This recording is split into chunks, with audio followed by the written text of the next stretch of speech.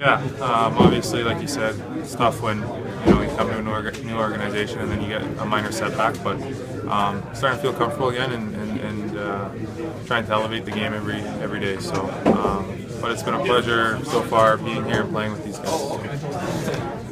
I think first day of training camp, really. Yeah. You know, obviously there for a long time in Washington, but uh, at some point you got to turn the page, and I had a good month and a half, two two months to to get settled here uh, in Detroit, and um, you know, as soon as training camp started and threw on the jersey, it was it was official. So.